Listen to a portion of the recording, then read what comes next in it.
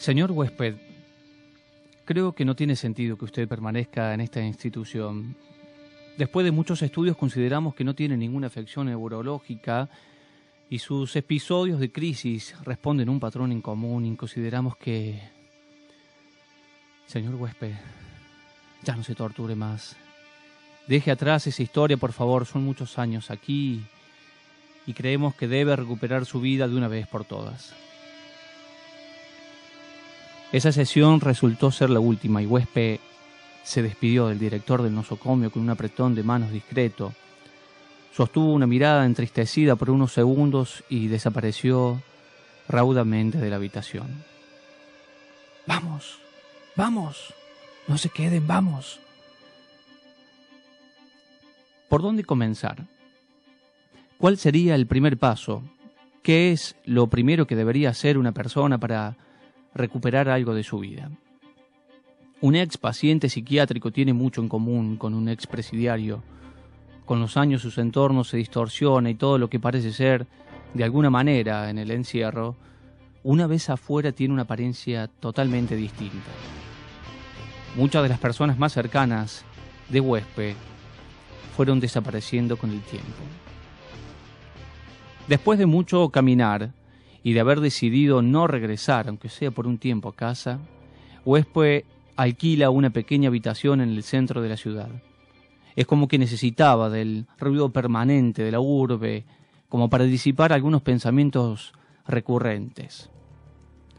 Necesitaba hablar, pero su aspecto no era muy agradable.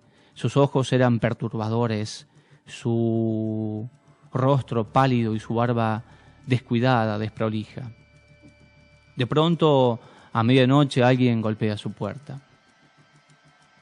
El llamado no lo sorprende, y huésped se dirige hacia la entrada con la tranquilidad de quien espera a un amigo.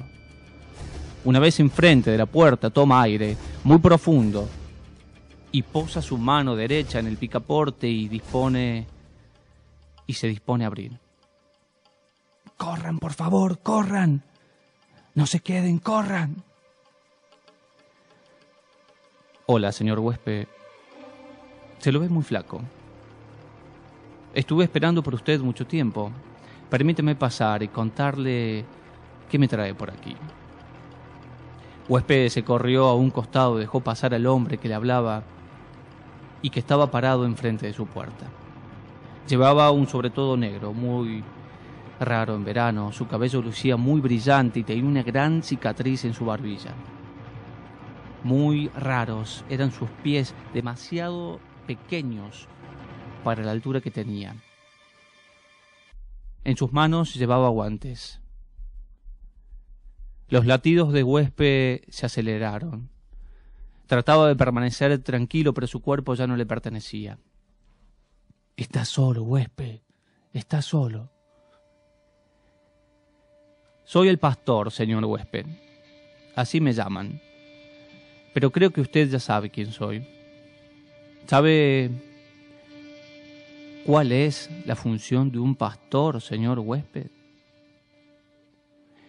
Mi función es mantener a todo el rebaño junto.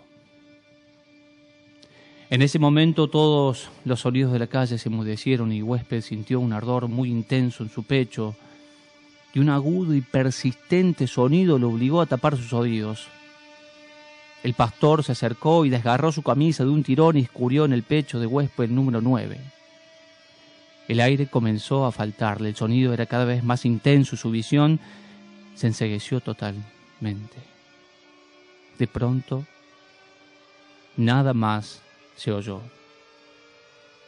La función del pastor es mantener a todo el rebaño junto.